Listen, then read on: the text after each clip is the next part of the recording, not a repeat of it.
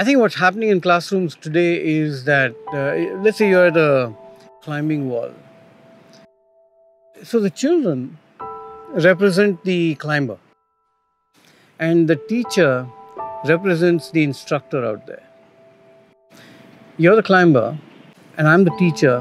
What I'm doing is uh, telling you what to do on that wall. There's a whole bunch of holes. There are choices that you can make what you see and what I see are not the same.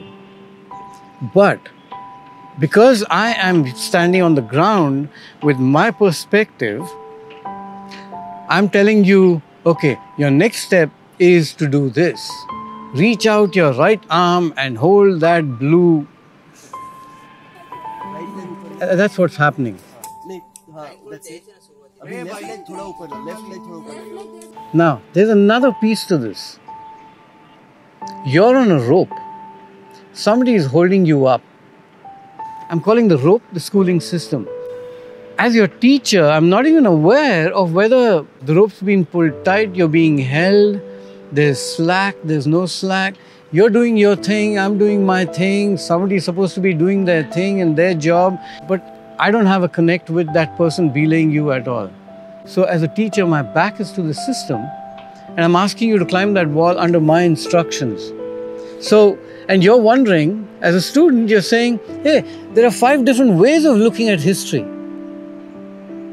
But I'm telling you, hold that one because that's the one that's going to give you marks in the exam. Okay? That's the current scenario. So, a couple of years ago, there was this guy called Alex Honnold, and he climbed a 3,500 foot rock patch unaided. What does that mean? No protection, no ropes, nothing. Just him and the rock. For Alex, it was a one way street. There was no return. There was no belay, there was no bailing out. Once he had made that decision to do that piece in a particular way, he was committed. But think about this he came to that place and that ability after 10 years of meditating on that rock. There's one particular move which he apparently did more than a hundred times with ropes, and he struggled with it. I think life is like that. um, the intent of experiential ed, of this approach, needs to be one of saying to the students that here's this wall of life. It's going to be real for you. You are going to climb it. And you might think there are people down there and people up there cheering you up and pushing you on and so on and so forth. But the move that you make every moment is yours. And if you if you miss it, if you fail, there's no one to blame.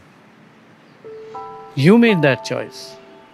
So, uh, ideal scenario is uh, all these experiential educators of the world being Alex Honnold's, climbing that wall, knowing that the intent of what we do is to get people to that place because it isn't just rock climbing, it's meditation in every moment of that experience.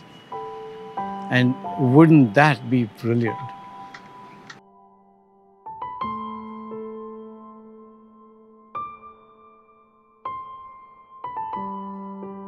The guys who were shooting the film were his friends, and they knew what potentially could happen.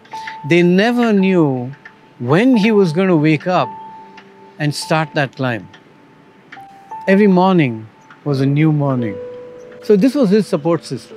And every morning you wake up and you say, I don't know where that child is going to be. I don't know when they're going to take off on that journey and make sense of the world. So, therefore, if Alex wakes up at 4 o'clock in the morning, I wake up 4 o'clock in the morning and I better have my cameras and my equipment and everything ready because there is no second chance. Oh, it just makes me. yeah, there is no second chance. You can't say, oh, you know, I slept through it. Alex is already halfway up the damn wall, and here I am with my cameras and equipment not ready. And the guy has followed him for two years. Can you imagine what it was like? One, and this guy, he he meditated on that mountain. Uh, he knew every move he was going to make. And when you watch that final climb, you can say whatever you want in your head, but that is art. That is. Uh, that's, I think, the best that he could have been on that day.